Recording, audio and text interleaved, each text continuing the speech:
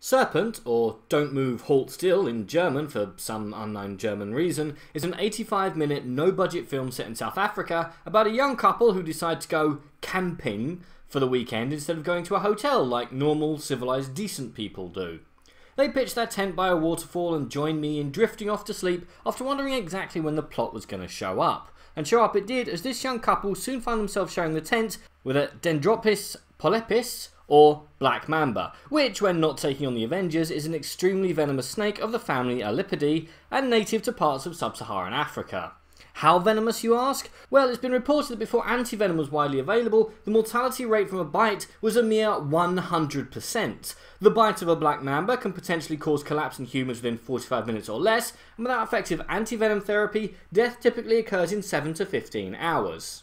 Oh, and it can also move faster than most people can run, slithering up to 12 miles an hour, 19 kilometres. And there's your film. Two people in a tent with a lethal snake trying to work out how to get the snake out without being bitten, which means no big movements, no loud noises, trying to get the damn thing out before the rising heat of the day angers and upsets it, causing it to bite you, and. And. Oh yeah, not having a ton of secrets, which might cause the person you're sharing this extremely enclosed space with to reconsider the whole don't let the snake bite anybody policy that they just decided upon.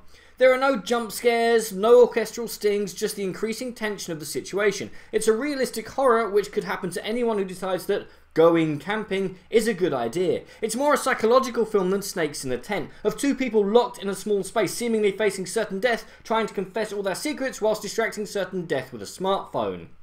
It's more a slow burn as the temperature rises and tempers fray with safety mere centimetres away, but so far out of reach it might as well be on the dark side of the moon. And the craziest thing? The budget for this film was so low that they couldn't afford CGI. Always a plus in my book. So instead, they just decided to use an actual black mamba whose mouth was allegedly carefully secured shut because why not?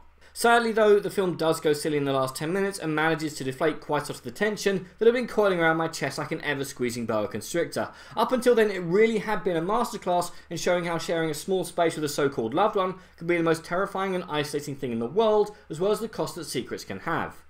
Naturally, a short film means that the characters don't get much time to develop, the developments they do have are fairly generic, and I wasn't entirely sold on the idea of the two leads as a couple, but beyond that, it's a very tense little film that if it could have stopped its third act going so silly, might be a classic film in the making. As is though, I definitely think you should see it as long as you can handle snakes.